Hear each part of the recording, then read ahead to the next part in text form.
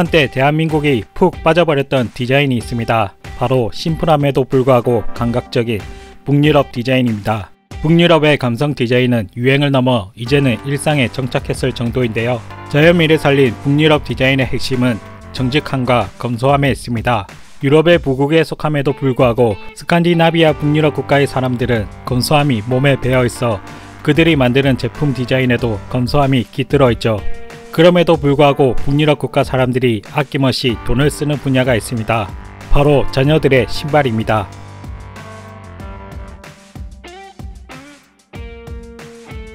스칸디나비아 국가의 어른들은 신발을 대충 신고 다니지만 유독 아이들의 신발에 진심인 편인데요. 스칸디나비아 국가들 역시 한국처럼 산악 지형이 많기 때문에 거친 지형에서의 신발의 중요성을 그 누구보다 잘 알고 있어서 아이들의 신발에 민감하다고 합니다. 그런 그들이 선택한 신발이 한국의 트랙스타였습니다. 트랙스타에는 고어라인과 함께 개발한 네스트핏이란 기술이 있는데요. 이 기술은 한국 사람 2,000명의 발 모양을 스캐닝한 것을 바탕으로 발 모양에 맞춰 사이즈가 최대 15mm까지 움직이는 기술입니다. 하루가 다르게 발이 커가는 아이들이 신기에는 최적이었던 것이었죠. 다만 여성들이 보면 싫어할 디자인이지만 한 나라의 어른용 신발의 경우 연간 17,000켤레를 판매하는 데 비해 아동화는 10만 켤레를 넘게 팔면서 북유럽인들에게 제대로 인식시킵니다. 그리고 이 네스트핏에 반한 것은 북유럽뿐만이 아닌데요. 네스트핏 기술을 신고 공항에서 전 세계 5대륙을 여행하는 동안 피곤하거나 전혀 아프지 않았습니다. 저는 네스트핏 기술을 제가 아는 모든 사람들에게 추천해 줄 겁니다. 네스핏이 가진 기술은 인간 친화성을 극대화하였고 일반 신발과 비교할 수 없는 기술적 우위를 가지고 있다. 그들이 미래 신발 산업의 발전에 앞장서게 될 것을 기대한다.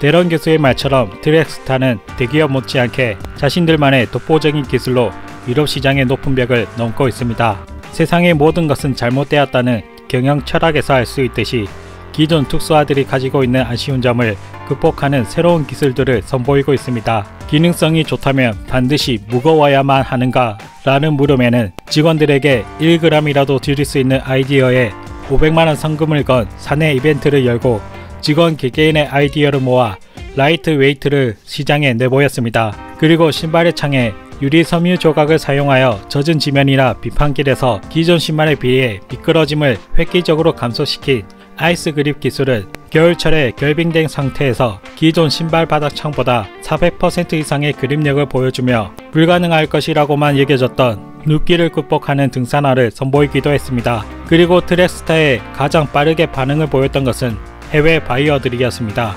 권동칠 대표는 처음 무명의 트랙스타를 알리기 위해 끈질기게 국제 전시회에 참가하며 이름을 알리기 시작했습니다. 그리고 이제는 해외 업계 관계자들이 중소기업에 불과한 드렉스타에 이번에 드렉스타는 참여하지 않았느냐라고 매해 물어볼 정도로 세계 아웃도어 신발 시장의 기능성 개발 흐름을 트렉스타가 주도하고 있는 분위기라고 합니다. 품질과 기술에 있어서 까다롭다는 독일 시장에서 미넨 대학 연구진과 소비자 리서치가 진행한 인식조사에서 트렉스타의 제품이 나이키 같은 유명 브랜드보다 기능성과 착용감 면에서 뛰어난 평가를 받으면서 독일 시장에서는 독일의 브랜드보다 고가의 프리미엄 가격대를 갖고 진출했다는 점을 보면 트렉스타의 품질과 기술력이 글로벌 경쟁력을 갖추고 있다는 것을 알 수 있죠. 그리고 유럽 아웃도어 매거진 컴파스에서 발표한 아웃도어 브랜드 순위에서는 아시아 점유율 1위, 세계 아웃도어 브랜드 순위 14위를 차지하기도 했습니다. 1980년대 말까지 한국에서는 신발 공장이 성행했습니다. 저렴한 인건비로 해외에서 OEM 주문이 끊이지 않았기 때문이었죠. 하지만 경제가 성장하면서 한국의 인건비가 상승하자 해외 주문 물량이 줄어들기 시작했고 많은 신발 공장들이 문을 닫기 시작하면서 산업이 몰락하기 시작했습니다. 그런데 트랙스터는 이 시기에 독자적인 브랜드를 만들어 특수화 기술로 살아남았습니다.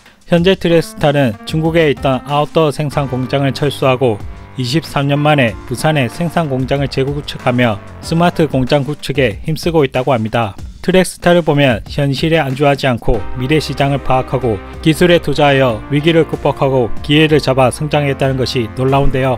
이제 4차 산업으로 나아가는 이 시기에 트랙스타의 행보가 기대가 됩니다.